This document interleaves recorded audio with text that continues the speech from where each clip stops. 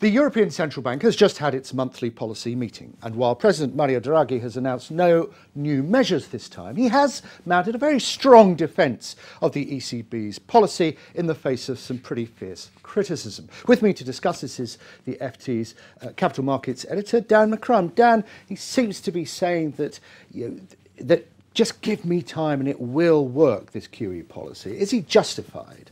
Well, let's, how should we judge the European Central Bank and what they've done? In terms of markets, borrowing costs have come down a long way across the entire Eurozone. They were up a little bit immediately after the press conference, but nothing in terms of the grand context. So the ECB has made it much cheaper to borrow in Europe. Well done. They've also stabilized the financial system.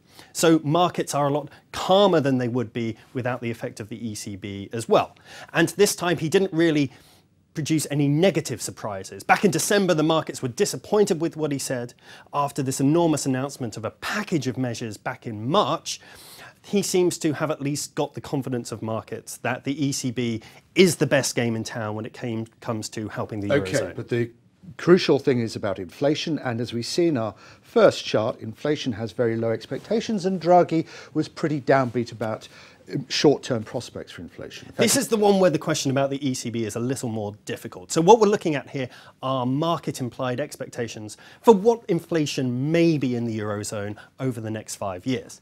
And if you look at that, it has been going steadily down. There was a bit of a pick up, but as Mr. Draghi said today in the meeting, deflation did appear in Europe earlier this year, and with falling energy prices, we may again see some more deflation in the Eurozone.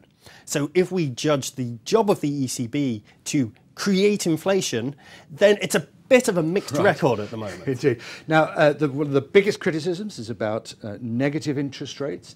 Draghi says that they are going to stay present or lower, but he was probably suggesting that it was that that's as far as they can go. It's a very complex issue. This he admitted to this.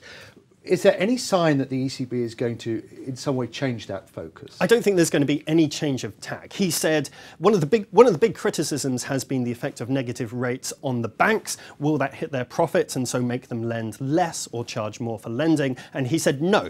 The banks have been fine. There isn't evidence for negative rates having a bad impact so far. In fact, he said it was positive, the impact of negative rates. So that's okay. But again, the question is what happens next? Where do we go from here? And he said we're going to have rates as negative or lower for the foreseeable future, effectively. Okay, and one of the impacts that was meant to be happening from negative rates, as our second chart alludes to, is that we were meant to see the euro actually going up. This hasn't happened, the uh, euro going down, but this hasn't happened. The euro has increased, and but that's not the whole story, Dan, is it?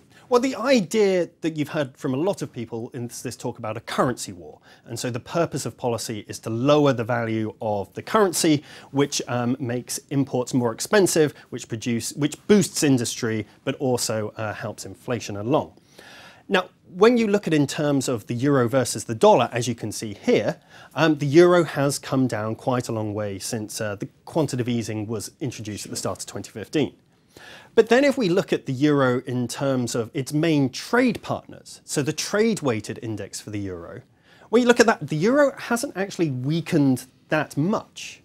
So in terms of the dollar, we have seen some strengthening of, um, again, strengthening of the euro against the dollar in recent weeks.